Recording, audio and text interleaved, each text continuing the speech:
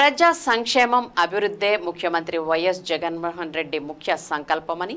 ఆ దిశగా ఆయన అడుగులు వేయడం జరుగుతుందని నగరపాలక సంస్థ కోఆప్షన్ సభ్యులు ఎస్ఎంఆర్ పెదబాబు అన్నారు. ఏలూరు నగరంలోని యాభయో డివిజన్ మేయర్ క్యాంప్ కార్యాలయంలో పార్టీ నాయకులు కార్యకర్తల సమావేశాలను ఏర్పాటు చేశారు. ఈ సమావేశాల్లో పార్టీ ముఖ్య నాయకులు బొద్దాని శ్రీనివాస్ నెరుసు చిరంజీవులతో కలిసి ఆయన ముఖ్య అతిథిగా పాల్గొన్నారు. ఈ సందర్భంగా ఆయన మాట్లాడుతూ ముఖ్యమంత్రి వైఎస్ జగన్మోహన్ రెడ్డి నేతృత్వంలోని రాష్ట్ర ప్రభుత్వం చేపడుతున్న సంక్షేమ పథకాలు అభివృద్ధి రెండు వేల ఇరవై నాలుగు ఎన్నికల్లో గెలుపుకు శ్రీకారం చుడుతుందని వైఎస్ఆర్ కాంగ్రెస్ పార్టీ రాష్ట్ర ప్లేనరీకి వచ్చిన ఆదరణతో ప్రతిపక్షాల గుండెల్లో రైళ్ళు పరిగెడుతున్నాయని అన్నారు. పార్టీ ప్లేనరీ సమావేశం అనంతరం పార్టీ కమిటీలు నియమించుకోవడం జరిగిందని ఆళ్ళనాని నాయకత్వంలో పార్టీ బలోపేతానికి అందరూ కృషి చేయాలని ఆయన సూచించారు. కార్యక్రమంలో పార్టీ నాయకులు నున్న స్వాతి కిషోర్ మోటమర్రి సదానంద కుమార్ పిటి నాగేశ్వరరావు రియాజ్ దేవరకొండ శ్రీనివాసరావు పొలిమేర దాసు నిడికొండ నరేంద్ర బుడ్డ జగన్నాథ్ రెడ్డి తదితరులు పాల్గొన్నారు. డాక్టర్లకి కూడా సూచనలు ఇస్తూ వ్యాక్సిన్ వేయించి ఎవరు కూడా ఈ కోవిడ్ బారిన పడకుండా మరి మరణాల సంఖ్య తగ్గించుకుంటూ మూడు సంవత్సరాల ఆర్నెస్లో మరి మన నాన్నగారు మన ఏలూరు ప్రజల కోసం మన రాష్ట్ర ప్రజల కోసం ఎంత కష్టపడ్డారో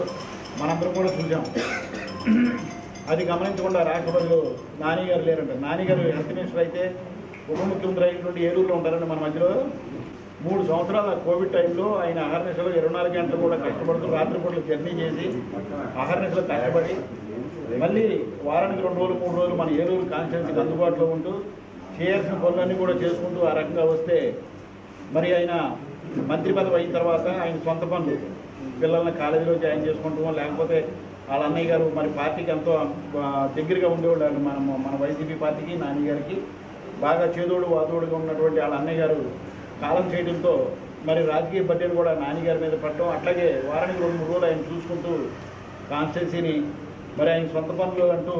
ఉంటాయి కదా వాళ్ళ అన్నయ్య గారి పిల్లల్ని మ్యారేజ్ విషయంలో కానీ నాన్నగారి పిల్లల చదువుల విషయంలో కానీ లేకపోతే ఆయన ఫ్యామిలీ ఒక నెల రోజులు సీఎం గారికి చెప్పి ఒక నెల రోజుల తర్వాత నేను గడప గడపకి మన ప్రభుత్వం కార్యక్రమాలు నేను పార్టిసిపేట్ చేస్తానండి. నాకు ఒక నెల రోజులు టైమే ఉండని చెప్పి జగన్మోహన్ రెడ్డి గారి దగ్గర పర్మిషన్ తీసుకొచ్చి ఆయన మూడు సంవత్సరాల నుంచి పెండింగ్లో ఉన్న పనులన్నీ క్లియర్ క్లియర్ చేసుకుంటూ ఆయన ఒక నెల రోజులు టైం తీసుకొని ఆయన సొంత వ్యవహారాలు చక్కబెట్టుకుంటుంటే ప్రతిపక్షాల వాళ్ళు లేకపోతే ఇంకోవాళ్ళు ఇంకోవాళ్ళు మనం అంటే నచ్చని వాళ్ళు మేమంటే నచ్చిన వాళ్ళు నాన్నగారు అంటే నచ్చిన వాళ్ళు వాట్సాప్లో ఫేస్బుక్లో నాన్నగారు అందుబాటులో లేదు నాన్నగారు ఎక్కడికో వెళ్ళిపోయారు అది వెళ్ళిపోయారు ఇది వెళ్ళిపోయారు అని చెప్పేసి ఆ రకమైనటువంటి వాట్సాప్లు పెడుతున్నారు.